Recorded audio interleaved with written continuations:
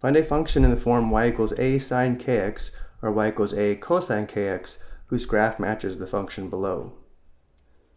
Looking at the function below, if we start at the origin, notice how the pattern is midline, maximum, midline, minimum, and then back to the midline. This pattern should remind us of the sine function shown here, where again the pattern is midline, max, midline, min, midline.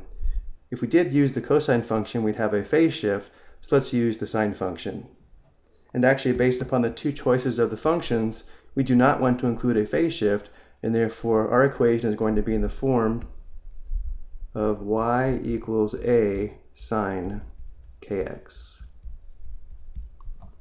The general form for a transformation of the sine function is in this form here, but because we don't have a phase shift, d is equal to 0, we also don't have a vertical shift because the midline is y equals 0 with the x-axis, and therefore c is equal to 0, which leads us to the form of our equation y equals a sine bx, where the absolute value of a is the amplitude, and b, or in our case k, is found by determining the period and setting the period equal to 2 pi divided by b, or 2 pi divided by k. So let's first find the amplitude, which is the distance from the midline to a maximum, or the midline to a minimum. So looking at the graph, notice how the distance from the midline to this maximum is 4 units, as well as the distance from the midline to the minimum.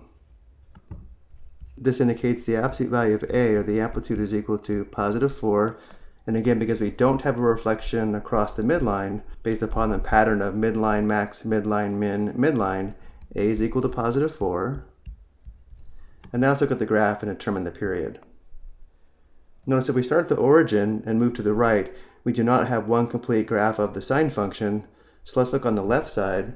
Notice how we do have a complete graph of the sine function starting here and going back to the origin. So we have a complete graph of the sine function starting at x equals negative 14, going back to x equals 0. And because this distance is 14 units, the period is 14 units, and therefore 2 pi divided by b, or in our case 2 pi divided by k, must equal 14. So we set 2 pi divided by k equal to 14.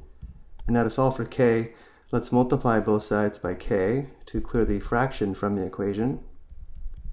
Simplifying here, k divided by k simplifies to 1, giving us 2 pi equals 14k. To solve for k, we divide both sides by 14.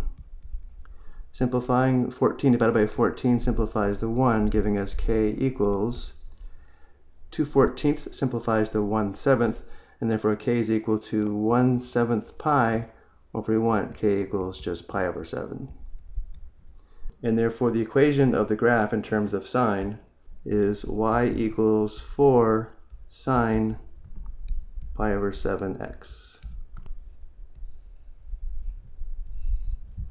I hope you found this helpful.